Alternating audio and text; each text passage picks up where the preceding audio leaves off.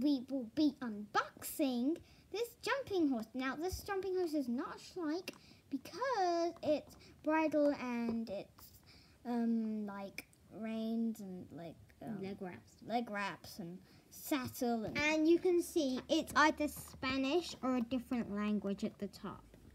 but yes, it's very cool. In fact, And we've got another surprise as well for another Schleich. Bring her in. This is a beautiful new Schleich, or is it Shire? Shire. New Shire that we brought today. I'm a drafter. Mm, okay, sorry. Now, let's figure out some names. So this one, I think, was going to be called Willow. And We we're don't sure about that one. We'll tell you guys in a video what she or he's going to be called. Or maybe when we're unboxing them. We'll Now, let's get unboxing.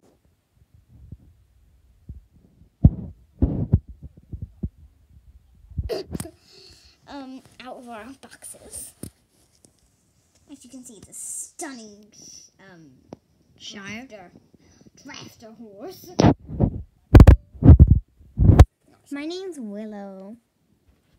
And we still haven't decided this guy's name or her.